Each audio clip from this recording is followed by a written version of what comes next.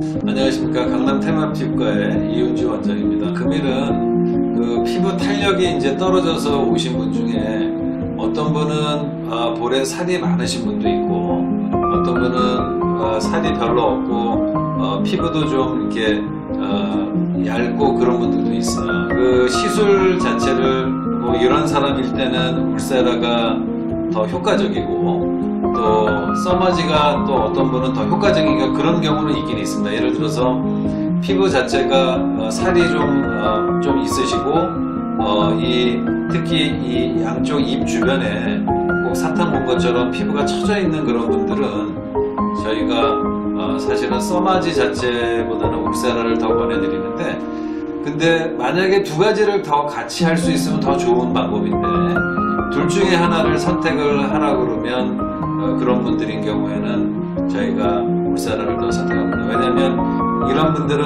이 피부 자체를 리프팅 시키는 게 주 목적이거든요. 써마지보다는 울쎄라를 갖다가 두, 가- 두 가지 중에 하나를 선택하라고 그러면 어, 울쎄라가 더 낫지만 전체적으로 리프팅만 돼서는 피부 자체가 연세가 50대, 60대가 되시면 다 좋아질 수는 없거든요.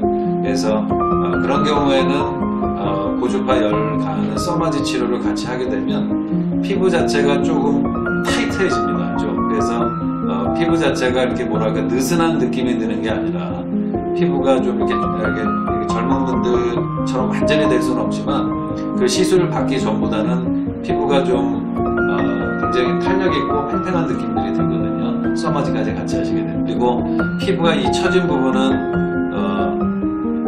어, 울쎄라를 통해서 피부가 거상이 되기 때문에 이 턱선 라인이 예, shape이 이렇게 얇아지면서 좋아지면요 훨씬 더 젊어 보이세요. 그리고 어, 어, 써마지 같은 경우보다는 울쎄라 같은 경우 특히 이 턱선 라인 물론 써마지도 이 턱선 라인을 저희 병원에서는 같이 시술을 하는데 이 위쪽만 리프팅 시키는 게 아니라 이 턱선 라인까지도 리프팅이 안쪽으로 돼야지만 어, 피부가 위로도 거상이 되고 안쪽으로도 들어가게 되거든요. 그래서 피부 자체를 좀 더 탄력 있게 만들어 드릴 수가 있습니다. 이 시술 경험이 굉장히 중요한 거고요.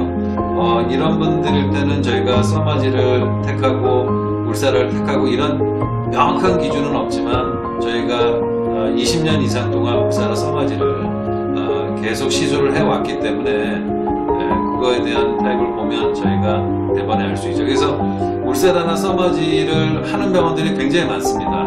저처럼 피부과 전문의가 하는 병원도 있지만 그렇지 않은 의사들도 굉장히 많거든요. 시술 결과가 굉장히 차이가 나고 울세라를 했다고 해서 동일한 결과를 나올 수가 없고 써마지를 동일한 뭐 400샷, 500샷, 600샷 했다고 동일한 결과를 얻을 수는 없어요. 그래서 어, 그 많은 경험과 결과치를 얻을 수 있는 그런 전문화된 피부과 전문의가 운영하는 피부과에서 좀 시술을 받는 것을 강력하게 어, 좀 권고를 드립니다.